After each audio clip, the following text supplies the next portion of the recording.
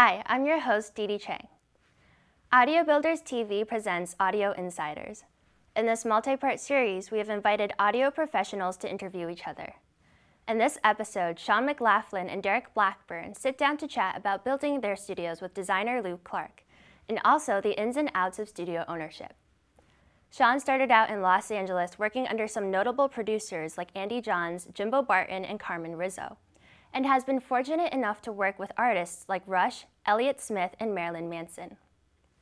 Sean McLaughlin started his studio, 37 Foot Productions, in the Boston area as a means for musicians to achieve high quality, label ready recordings, routinely unavailable to unsigned artists. Dereck Blackburn is a recording engineer and owner of Quiethouse Recording in Bedford, Massachusetts. He has been in love with the art of recording for over 20 years and recently engineered and mixed records for Windmills, Husbands, and Idle Pilot. Audio Builders TV is produced by the students of Concord Carlisle High School with help from Colonial Sound and CCTV. Please subscribe to us on YouTube and subscribe to our mailing list at audiobuildersworkshop.com. Audio Builders. Audio Builders Workshop is a work group for the Boston chapter of the Audio Engineering Society. So uh, I know that you run 37 Foot Productions uh, on the South Shore. Uh, can you tell me a little bit about what's going on down there right now? Well, we're doing a big build, uh, and we share a we share a designer. We do. Uh, Lou Clark from Sonic Space uh, has designed my space. This, for me, goes back to, well, I'll give a little backstory. Uh, the room that is that was next to my live room and control room, they're kind of conjoined in this kind of triangle configuration. Um, I was subletting out to some people who were shooting video and doing some voiceover work, uh, and they ended up leaving. Uh, one moved away, one went on tour for six months, so they weren't around to actually use the space. So at that point, I figured I should probably actually do something with this rather than what I had done when I first rented it, which was make sure I didn't have noisy neighbors next door to me. uh, Yeah. So what I did was called Lou, had him come down for a consult, and uh, his first words were, "This should be your control room. You know, it'll be a little narrower than your current space, but the way we can design it, the uh, the footprint will actually feel like it's bigger, and it's going to be longer. So we've, it's it's kind of configured in an L shape, with well, it's a square, but it's got an L shape, and I'm sure there'll be pictures of this somewhere uh, with a storage space. So it kind of configures like that, and part of the design was to have some sliding diffuser walls come out so that it would, Oh, would have great. a rectangular thing. There's an ISO booth in the back corner, um, and there's natural light around the corner of the L.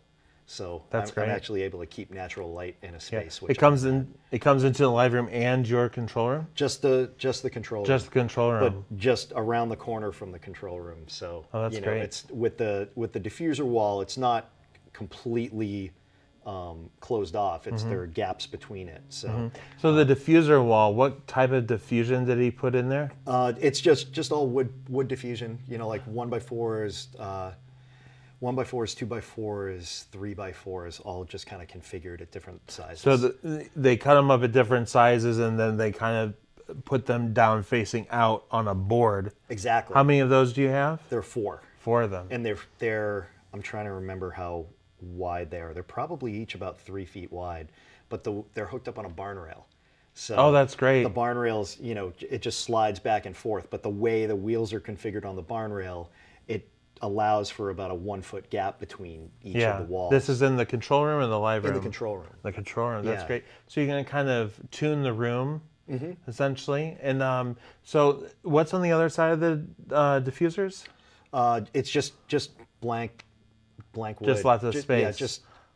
Or a space in between? Yeah, well, there's there's space between them, and then oh, you mean behind the diffusers Yeah. in the space? Yeah. There there's an ISO booth back there. Okay. And there's an open space which I'm going to treat as sort of a an appendicized lounge to the control room. That's great. So it's it- it'll be cool, you know, having having natural light in a studio is kind of rare, so I'll, I'll take it.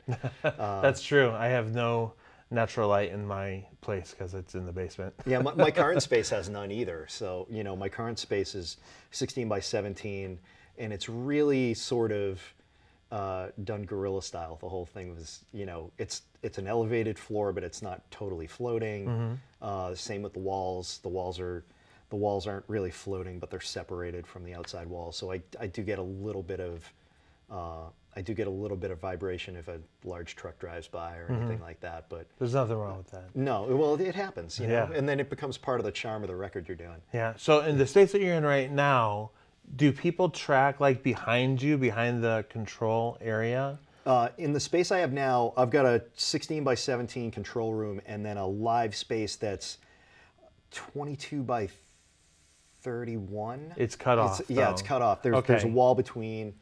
Um, you know, the, the but the way the current space is, you know, like we were talking about having support beams. Right. You know, I've got two in my live space and one in my control room, and the one in my control room has a chair next to it, and you know, I've got other things so that it doesn't look like there's a big pole there. you Sure. know? And I've got like uh, guitar hangers hung on it and stuff, so it it feels like part of the room. That's in the great. live space, that's where the mic uh, the mic bays are mounted. Okay. So it becomes part of the functionality of the room.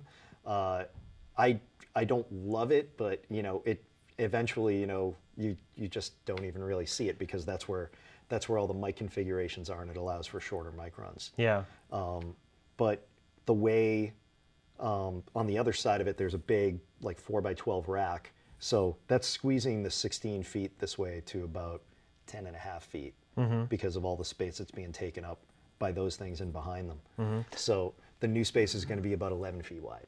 So when you said that you have uh, the bays, are, is that for your gear? Yeah. And in the new space, how much uh, space have you allotted for gear? I'm glad you asked because it's exciting and scary. Uh, I have three 28 space bays and two 12 space racks on either side of the of the desk. Oh, that's great. So, uh, because of the configuration I talked about, where there's a storage space, the gear's getting mounted right into the wall, Oh, that's perfect. and it turns into diffusers the way Lou's kind of angled them. So they have this angle that's matched on the other side by wood diffusers.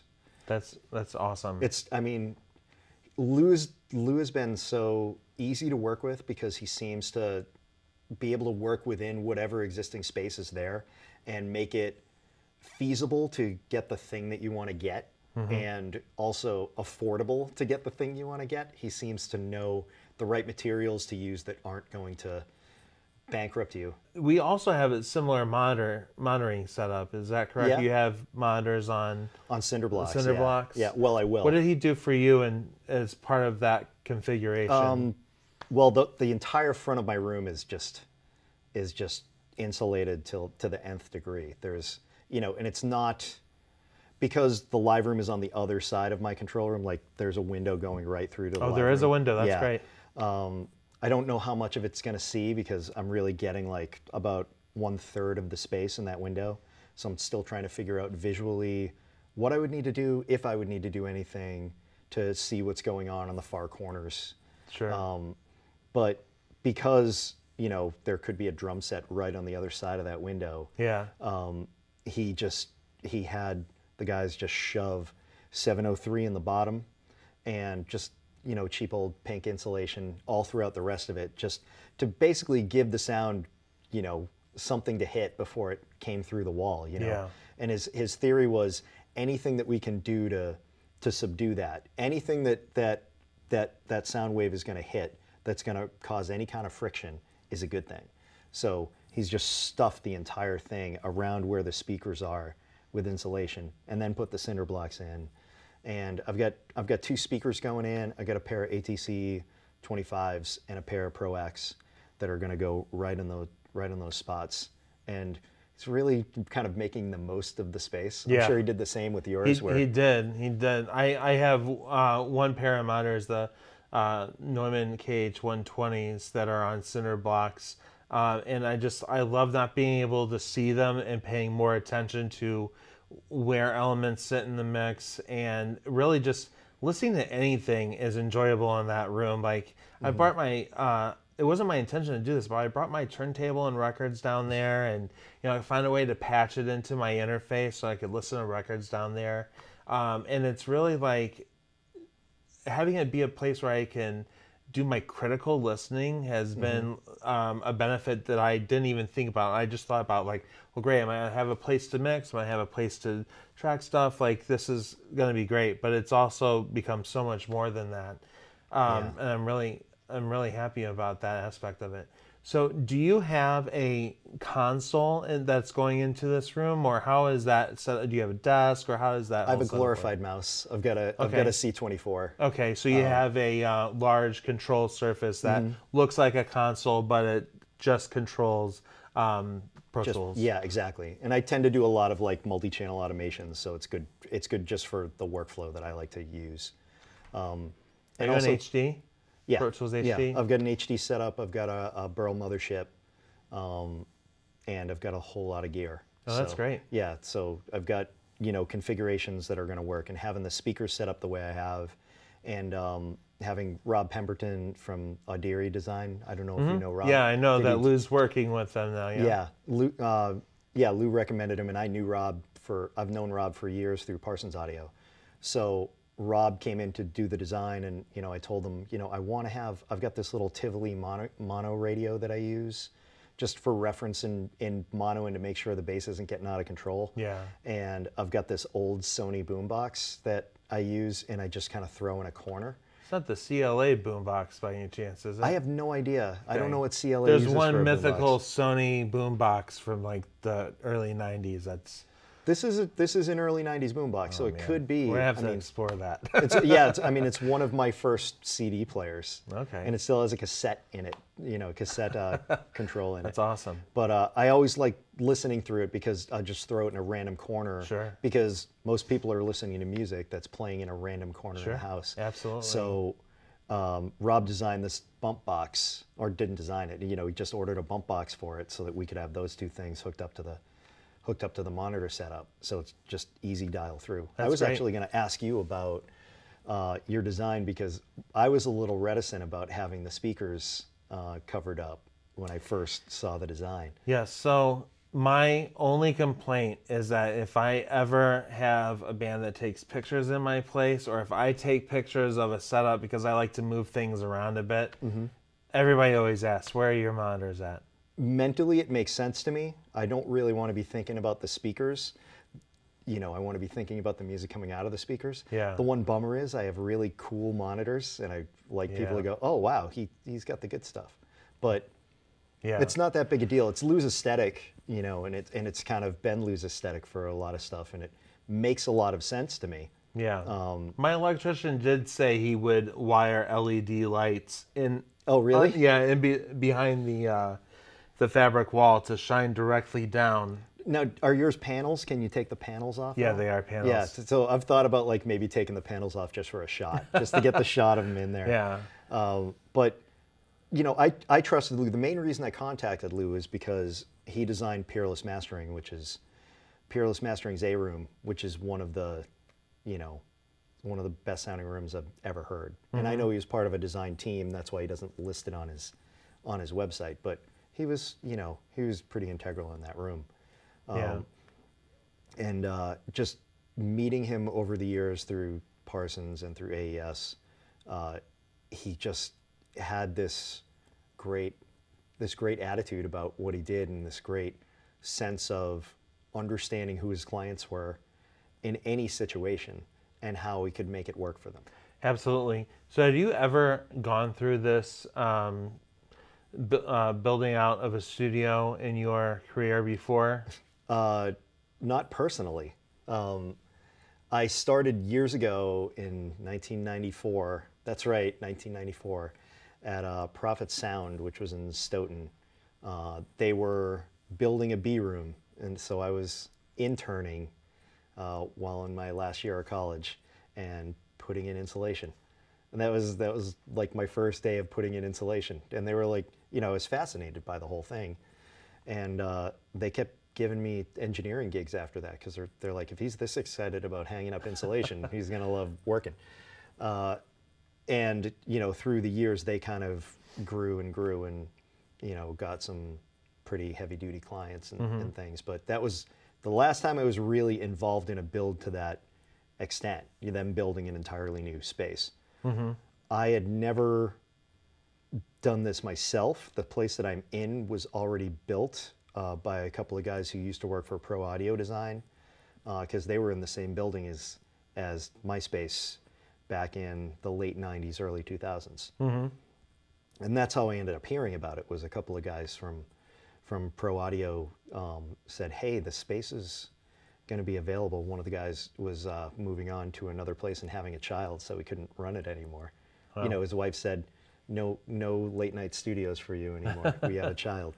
So I said, "No way on God's green earth do I want to run a studio. Yeah. I don't want to do it. I never wanted to do it. I just wanted to engineer records and be a freelancer." Yeah. Uh, but I looked at the numbers. It's in a place that, you know, I'm in the South Shore, I'm not in the city, so the real estate prices are not even close to what they are in the city. Um, there was a parking lot, and it seemed like it was reasonable for me because I was in the middle of two full length records and needed a space to record them. So I figured that this would be a good, at least, bridge to see if I could make it work. Yeah. Um, at the time, I had two partners. One of them got a gig uh, at Apple with iTunes and had to move to Austin within the first year. Uh, and the other one uh, just couldn't get any clients, so he stopped doing it. So eventually, my one third of rent became 100% of rent, and that was that was pretty hardcore enough without having to do any kind of a build. This was the beginning of 37 foot. Yeah, this was Okay. uh, like May of 2006. Okay. So it's been 11 years to the month Okay. right now. What is it like for you to be able to get up and just go a short, you know, period of time to work and back, as opposed to like maybe building something in your house? That's a good question. Well, first off, I live in a condo, so building something is a Oh, little well, yeah. more difficult. Do you have even like a little area? Like oh yeah, where- we've got okay. a we've got it's it's a good sized condo, and we've got an office space that my wife is now using because she works from home. Uh-huh. But it's still, you know, even with some of the exercise equipment in there, it's still a big enough room. you know, it's the size of a, of a pretty big bedroom. Uh-huh. So um, I could do stuff. I mean, and I have done stuff on my laptop. Yeah. Um, but your place is so close. That's that's the thing is is if I have to do anything, even if it's only a few hours, it's worth the drive down. Yeah. You know, just drive down, get the work done, and drive back. I actually did that last Friday. I drove, got there at 11, left there at two. Uh huh. Didn't hit traffic. Yeah. You know. I just don't go downstairs. Like if Yeah. Mm-hmm. you know to have that separation, like it's just like I'm just not gonna go downstairs. That would be the hard part for me because uh, when I first moved here, before I had the studio, I was in a house and I had a 13 by 15 room that I turned into just a mix room. Mm-hmm.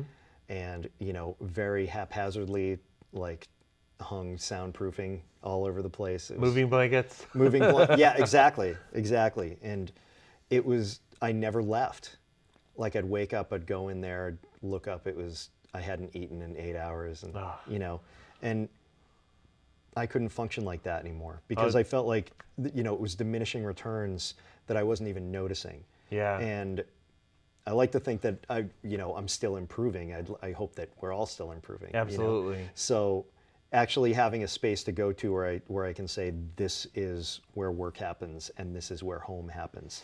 I don't Yeah. even have a good stereo system in my house. I've got like a Bluetooth speaker, you know, and, and I feel like it's better for me to have that. Sure.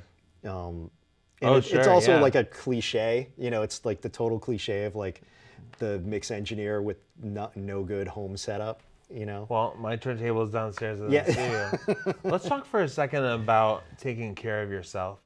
I started getting getting tendonitis in both my elbows. Oh yeah. and I'm pretty sure it was from carrying like 50 pounds of speakers to gigs. Sure. Um, you know, having a 50 pound speaker here and like a 40 pound amp in this hand, Oh, yeah. walking through wherever crappy place to get to your car where you, you're parked a couple blocks away. Not not necessarily the best. So I was feeling this pain here, and and most likely the pain wasn't from that. That just exacerbated the issue. The issue was probably the repetitive stress injury of a keyboard and a mouse being in front of me and not having proper arm support. right. Uh, so luckily, the keyboard player on the gig is a physical therapist. Uh, or I should say occupational therapist. And he was like, you know, let me come by the studio and let me just see how you're working. So he actually watched how I was working. He goes, okay, you're slouching a little too much, and your your uh, armrests are not high enough for your arms. Yeah. So he raised the armrest. He gave me some athletic tape, which allowed me to kind of like tape from the fingers all the way up, up across the elbow to give a little extra support. And he said, you can just use the athletic tape, you can ice. So I started thinking a lot more consciously about that because you always think about your ears. You always think about protecting your ears. Right. But then you don't realize if your body can't walk to the place where you need to listen, then it's not going to help. Yeah. So Yeah. I started looking at a lot more things, and I start, also started looking at a lot of things that, that dealt with productivity in general. Um, so my initial thought was, you know, a psychiatrist takes a 10 minute break every hour after they're done with a patient to kind of clear their head and come back at things fresh. Why shouldn't we do that as engineers? It made a lot of sense to me. But then I started doing some more research on productivity in a creative workspace. Mm-hmm. And a lot of people kind of ascribe to this 90 20 rule where you work for 90 minutes and take a 20 minute break. Mm-hmm. So I've started to do that, and it's almost happening subconsciously now where like I'll spend an hour and a half like getting a rhythm section to feel really tight in a mix and then stop and take a break. And it's usually like you know 90 minutes to 2 hours something Yep. like that and then I'll step away, come back and listen and then I might hear something that I hadn't heard before because I was too deep in the weeds Right. to really see the, the full picture. Right. And I think that I mean when I'm working I'm not listening almost as much as I'm listening. You know, I'm taking Oh, sure. I'm taking breaks all the time. I'm thinking about what moves need to happen, or I'm just listening and not taking any action whatsoever. Mm-hmm. So it's probably I spend an eight-hour day working on a song, and I'm probably actually working for about four hours Mm-hmm. because I'm listening and processing and changing things and trying to come at it with a new approach. And then I still don't feel like I'm done, so I come back the next day and listen. And almost inevitably, there's a change or two that I want to make because I was in it for eight hours. Yeah. Even if I wasn't fully like actively doing things for eight hours, I was in it. Yeah. So that's that's something that I think's helped physically and with productivity, because you know you work for hour and a half, two hours, get up and walk around. Uh, I don't know. Do you do attended mixing at all? I do like having the client there when it's finished, Yeah. if if they're able to be there. Like if they're out of state or whatever, it's kind of an impossibility. Yeah. Um, but you know, I'll use some kind of like a Nicecast or something. Oh, like I love to- Nicecast. It's great, right? Well, Yeah. I would imagine your Chicago clients like that a lot too. yeah. Yeah. Um, but having something like that is a, is a big is a big thing. Um, but I don't like having clients there while I'm going through the process because I feel like they're hearing the decisions that I'm making. Right. So when it comes down to hearing it fresh, they're completely useless to it because they've thought along the same logic flow that I've thought as I'm doing the work. yes. And I feel like that is taking them out of where they need to be, which is like hearing it fresh a few times and saying, oh, I didn't expect this, you know, in a good way. Yeah. And in this case, they expected all of it because they were there. But if I'm working all day and someone says, oh, I want to come in at like six or seven and just give a listen to the final and maybe throw out a few ideas, that's, that's great. Mm-hmm. That's perfect. But if they're sitting there the whole time I'm working, No, I can't do that either. yeah, it's it's it's pretty rough. And almost always I have like a final day where like if we finished a record and everyone wants to come in and just listen and throw a couple of tweaks at it, let's do it, you know. But a lot of times I'm sending stuff out and usually, you know, I'm usually going through like two revisions before the client comes back. Sure. Um, you know, and I'll go through as many as they need. I'm currently working with a band that has eight members in it, so Wow. the the amount of notes that come back, you know, the the To digest. My my point my point man on it is kind of saying, well, I have to get notes of eight people and then see which ones contradict this, themselves and then which ones are the same, and then we I prioritize and then I send you a list of like five, six, seven things, and then we fix them. So let's talk a little bit about education. There's a huge explosion of places on the internet that you can essentially learn how to engineer records from the ground up. Whether it's the right way or wrong way, you know, Let's- it depends on the teacher.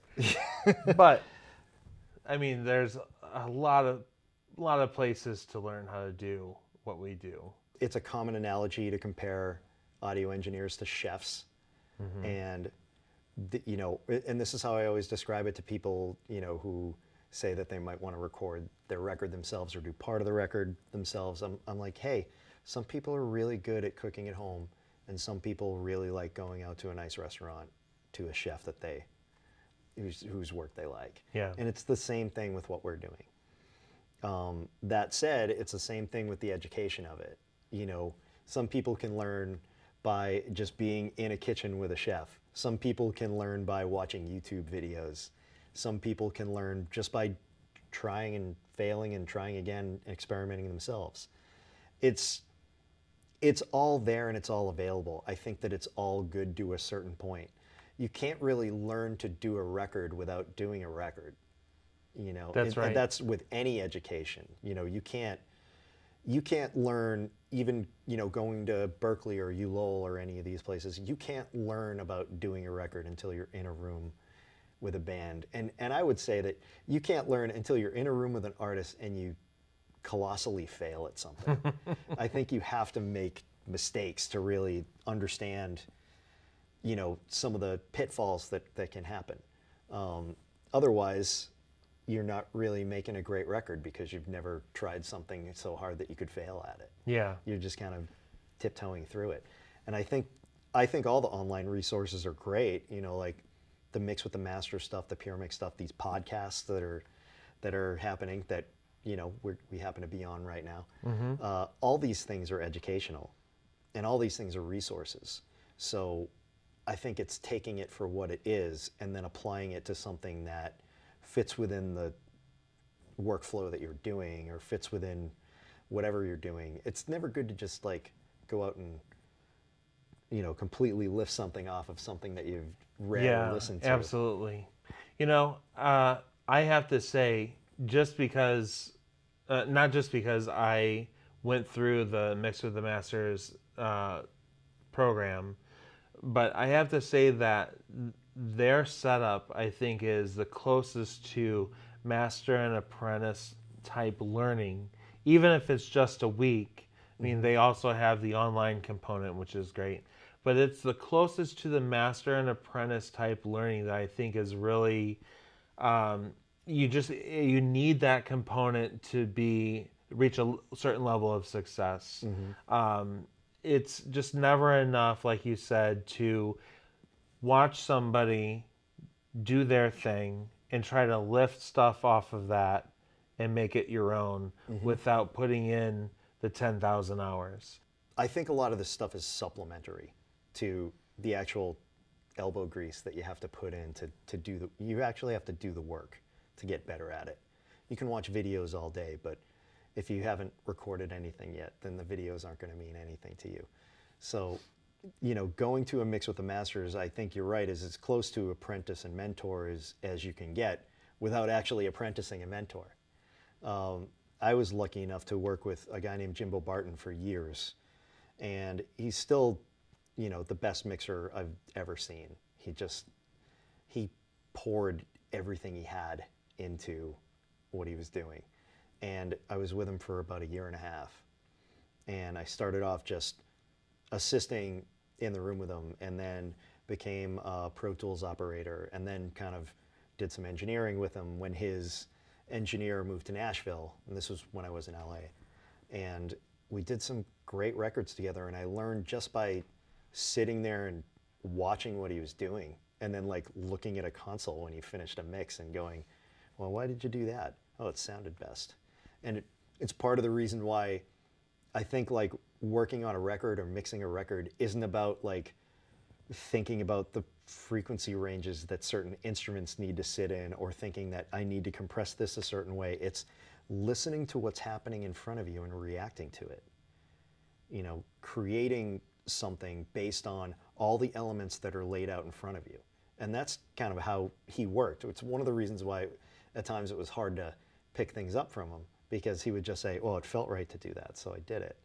When I did it, it felt better.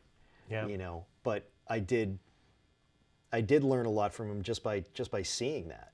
And like and I think that that kind of meant more. Well, it's not really about like you know, necessarily knowing this technique or that technique. It's about hearing things and how they work. Yeah, all that stuff is in the back of your mind, but you're not consciously thinking about like, oh, I need to dip, I need to dip dip Right. 300 in this kick drum because it's it's just too boxy.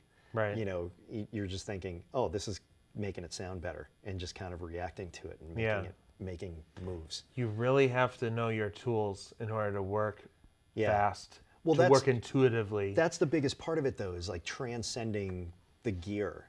It isn't about the gear; it's about the song, and and I think that's something that some of the online things lack a little bit.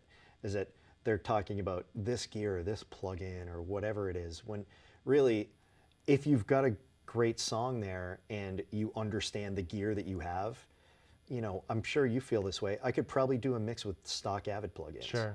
You know, just because they do the job, they function the way they need to function, and I can pull things up and just make the music sound good if the music already sounds good. Absolutely. The biggest advantage that like the best mixers in the world have is that they're working on the best tracks that have been recorded. Absolutely. That helps a lot. I mean, since 2004, I was teaching at the New England Institute of Art, uh, and in 2015, I started teaching at Berklee. And my my biggest mentor as a teacher was was Al Shapiro, who is a teacher at the New England Institute of Art, who really kind of centered everything around the student. They just he kind of was able to show them the tools that are in the toolbox and then have them go out there and make a completely disfigured house. Just make mistakes, just throw up more mics than you could ever possibly want and then, you know, just listen to them back and see see what Sure. you like and what you don't like. And there wasn't really a wrong answer to it unless it was out of phase with something else that you were using. You know? Yeah. So, th- you know, do you like this better than that? Good. That's not a wrong answer. It's, you know, so he would he would really dig deep into into that side of things when he was teaching classes. And I try and between him and Neil deGrasse Tyson, I try and get a lot of my techniques from from people who are good presenters. Sure. You know, it's I think it's really important to present material in a way that's going to be exciting for a student. And the best way to do that is to be excited about it yourself.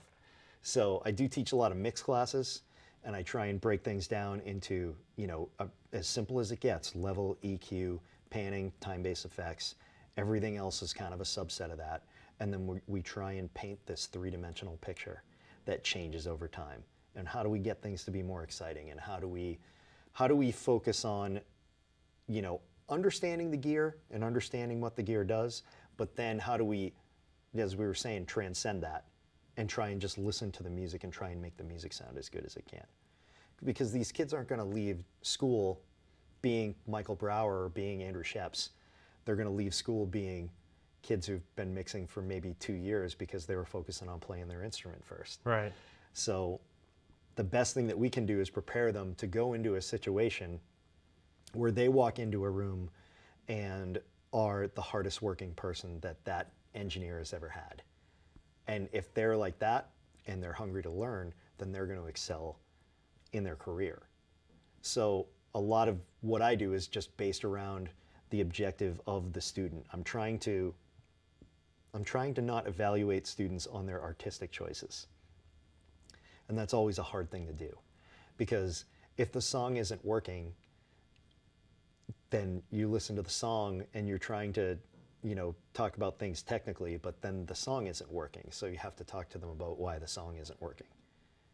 You know, and that and that becomes a bit of a tricky thing. This is something that I've been that I've been uh, struggling with over the past like year or so, where I've been trying to think about how to reevaluate this thing that we do when we, Yeah. when we teach things because I think education gets so focused on the technical and loses a lot of the aesthetic.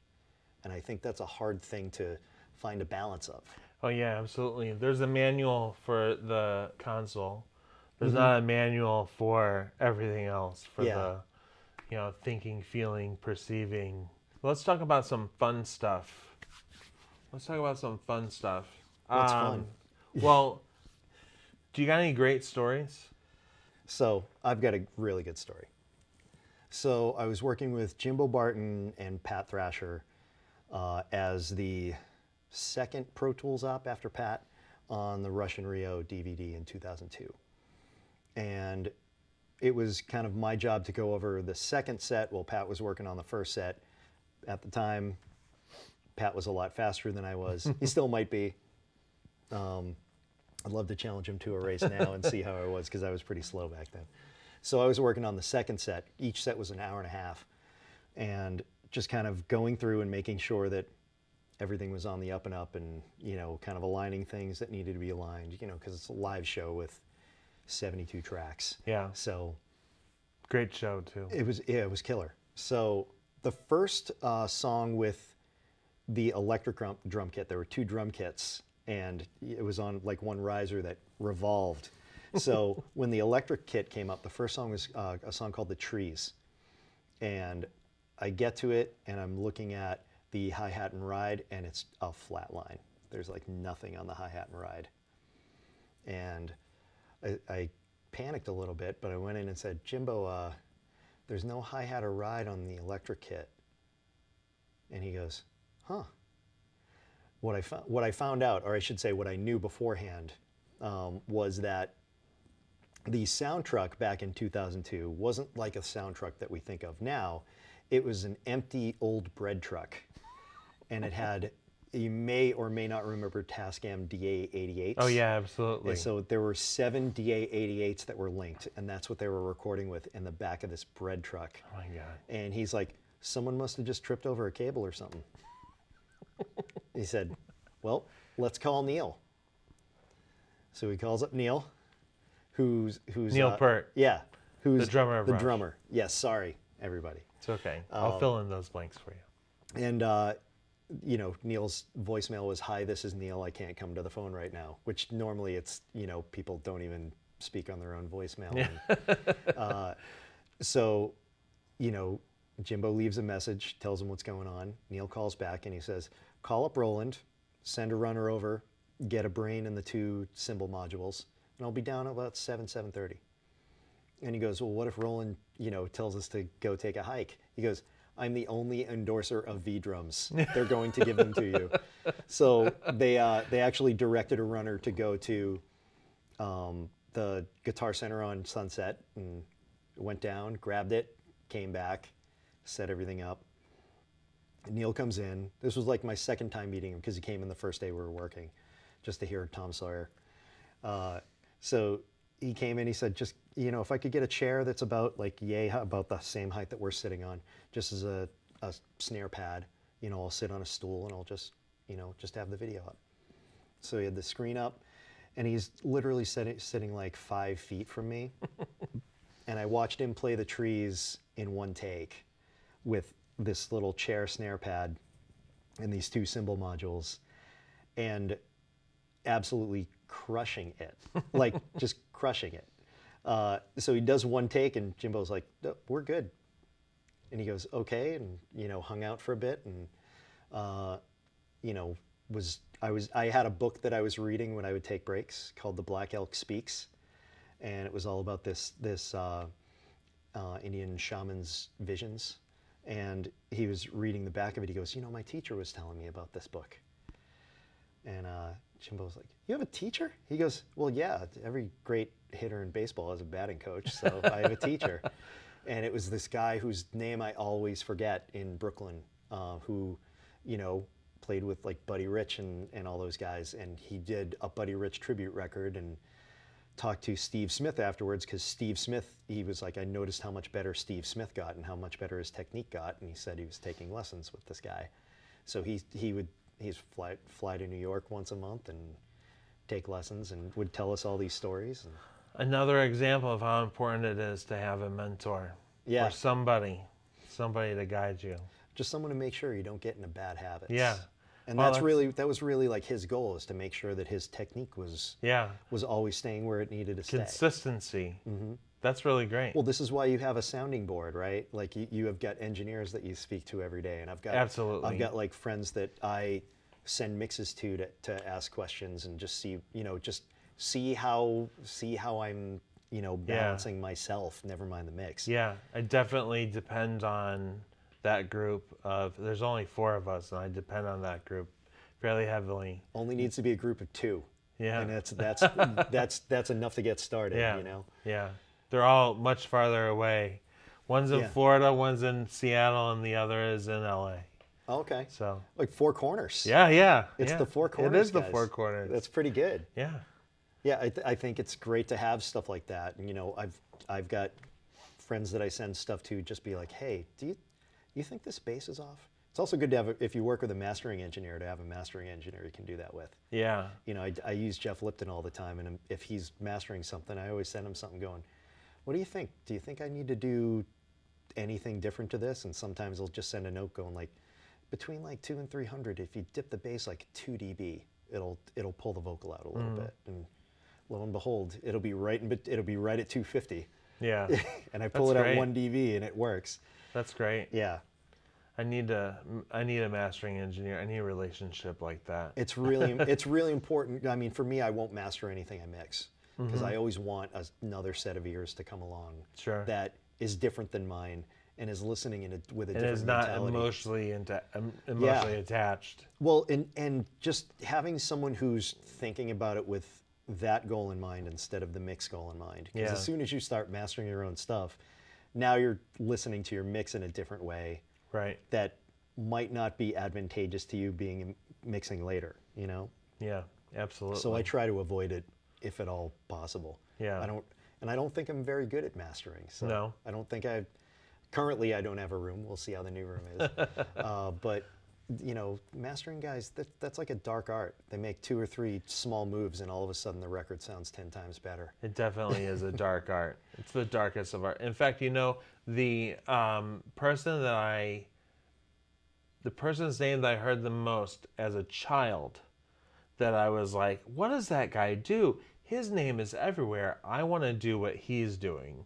Because um, I didn't mention this, but how I got into engineering first professionally was through mastering, because I was really interested in mastering and all, and, and and this was like 2000 or 2001 or so.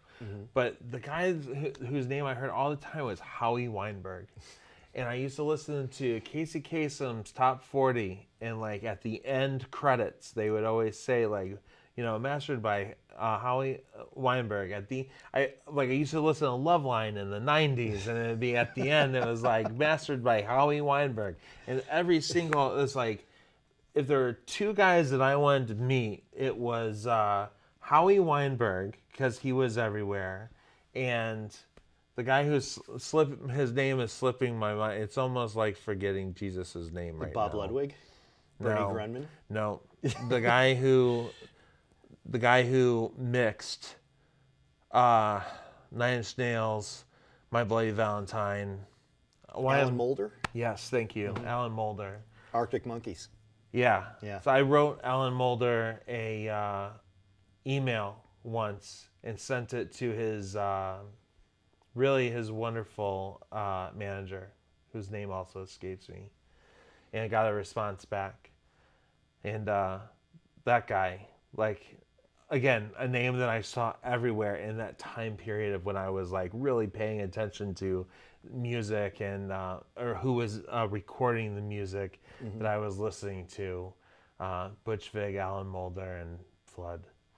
This has been a great conversation. This has been fun. Thanks a lot.